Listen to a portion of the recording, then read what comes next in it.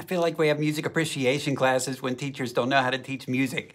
I mean, what music appreciation class would not be better served if the students were actually learning music? Then, if they're curious, they can look at music history and whatnot. But just teach music. Music is better than music appreciation.